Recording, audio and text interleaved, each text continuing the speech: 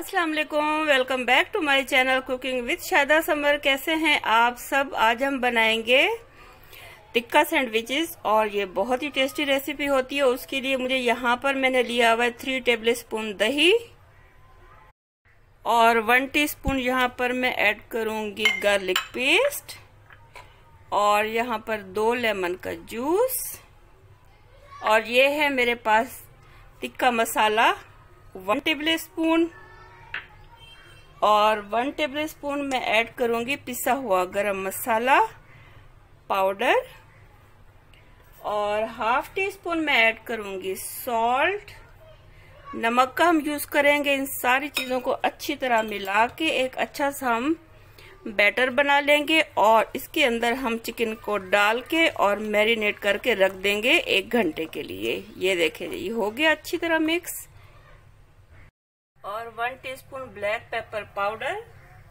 और one teaspoon मैं add करूँगी रेड चिली पाउडर और सारी चीज़ों को हम अच्छी तरह मिक्स करके और इसमें हम चिकन को अच्छी तरह मैरिनेट करके और एक घंटे के लिए हम इसे फ्रिज में रख देंगे।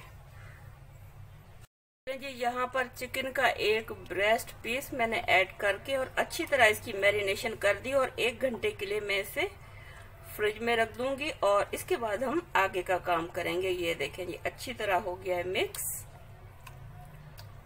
चले जी, अब मैं इसको रख दूँगी। अच्छा जी, यहाँ पर चिकन हमारी मैरिनेट हो गई बहुत अच्छी तरह से और यहाँ पर एक बर्तन के अंदर मैंने one tablespoon oil add किया और अब मैं इसमें चिकन ऐड कर दूँगी जो हमने मैरिनेट करके रखी थी। और ये अपने ही पानी में पकेगी और दही के पानी में एक्स्ट्रा हमने कोई पानी नहीं ऐड करना इसमें। चलें जी, इसको हम पका लेंगे अच्छी तरह।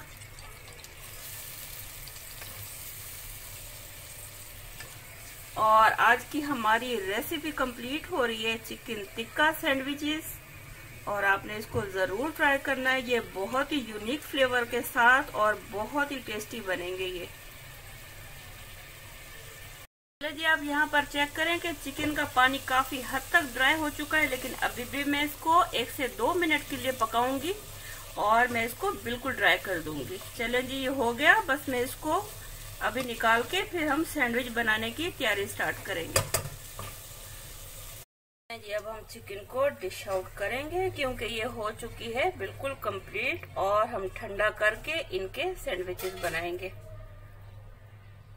चलें जी यहाँ पर हम चिकन टिक्का सैंडविच को कंप्लीट करेंगे और यहाँ पर मेरे पास है दो स्लाइसेस और मैंने इनके कॉर्नर कट कर लिए और इसके ऊपर मैंने मेयोनीज लगाया और इसके ऊपर मैंने लगाया चिली गार्लिक सॉस और अब हम इसके ऊपर चिकन टिक्का रखेंगे। और सैंडविच को करेंगे मज़ेदार सा कंप्लीट चलें जी, ये हो गया। और ऊपर से हम डालेंगे एक टमाटो का स्लाइस और कुछ स्लाइसेस हम डालेंगे क्यूकम्बर के, जो आपको पसंद है। उसके बाद हम इसको इस तरह करके और कटिंग करके हमारा सैंडविच हो जाएगा रेडी यहाँ पर सैंडविच को हमने कट कर लिया और हमारा चिकन टिक्का सैंडविच हो चुका है बिल्कुल रेडी और अब हम इसको डिश में निकालेंगे और आपको इसका फाइनल लुक दिखाएँगे।